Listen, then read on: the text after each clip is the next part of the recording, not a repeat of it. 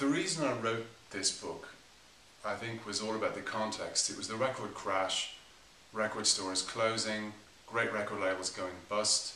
Then I became a father. So, needing answers, I started digging deep into the past, deep into the origins of the music business, uh, where it all began, this, all the pre-war stuff that we inherited uh, with rock and roll. Um, and behold, I find that there was a record crash in the 1920s and 30s, cataclysmic, far bigger than the one we've just experienced with the CD. And the record industry was written off as dead in the 1930s. No one wanted to know about it. And yet, uh, it came back to life, bigger than before.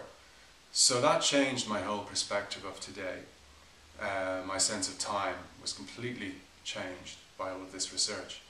And from there I began climbing, interviewing all of the important record industry characters, uh, getting inside their heads and piecing together uh, a giant jigsaw puzzle of the music business from the very beginning to today, uh, what it's all about. Um, and yes, I found the answers I was looking for. I think within this book there's something for everybody. There's all kinds of stories in here. Um, but I think above all, it gives a sense of perspective about where we are and where we should be going and what we should be doing and why we should be doing it.